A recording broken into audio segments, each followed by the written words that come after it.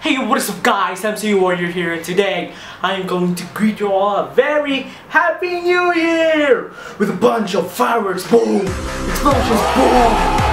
A very exciting year to come 2015!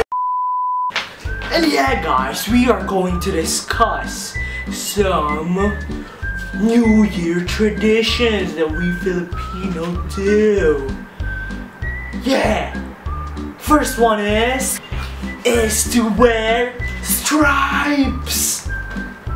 Yeah, and the reason that I'm wearing stripes is that it will attract some big money. Yes, yeah, money, Mo money. See, it's, it's already happening.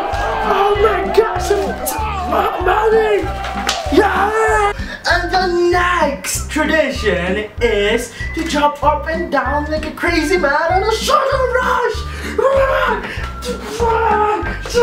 Yeah, yeah. And the reason I'm doing this is to get taller and be the best basketball. Hey, I'm sleeping here. And yeah guys, the next tradition is to get a metal of some sort to make some noise, to get all those evil vibes, all those evil spirits and such, all those uh, out. True.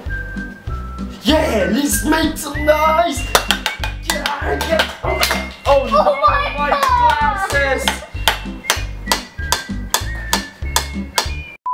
And yeah, guys, the next tradition is to shake your piggy bank off like a mouse to make it rain some money. Yeah, let's go.